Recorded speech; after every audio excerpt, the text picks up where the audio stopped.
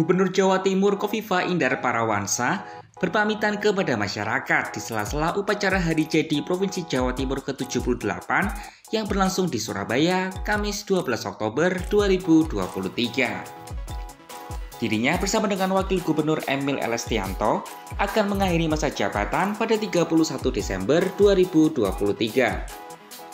Pasangan pemimpin yang menjabat sejak 13 Februari 2019 itu mengucapkan terima kasih kepada masyarakat Jatim yang disebutnya luar biasa dan telah menerima kepemimpinannya.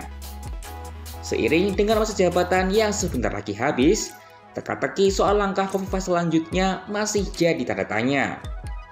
Paling santer, Kofifa dirumorkan akan membantu Ketua Umum Partai Gerindra, Prabowo Subianto, pada Pilpres 2024.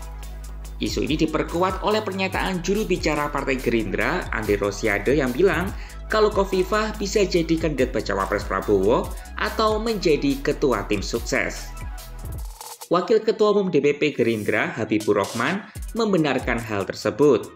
Ia menyebut, Kofifah menjadi salah satu nama yang dipertimbangkan sebagai ketua tim sukses Prabowo Subianto pada Pilpres 2024.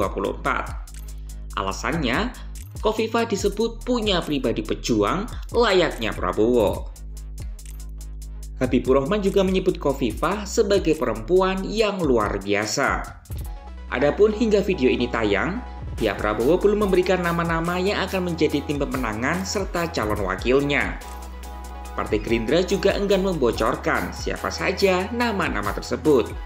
Menurut Andre, Nama-nama itu kini sedang dibahas oleh para pimpinan di Koalisi Indonesia Maju.